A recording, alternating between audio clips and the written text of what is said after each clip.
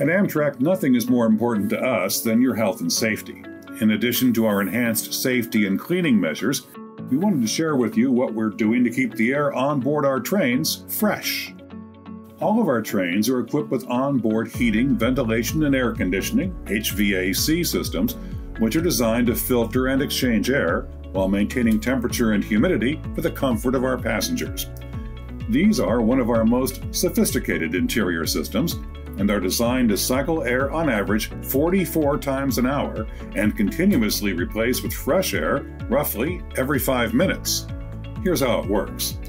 Air from the interior of the train is drawn through air ducts and a portion is removed by an exhaust air blower. That air is then replaced by fresh air that is passed through a filter to remove contaminants and then conditioned to be either cooled or heated before returning to the train car. To learn more about how we are setting a new standard of travel, visit amtrak.com/coronavirus.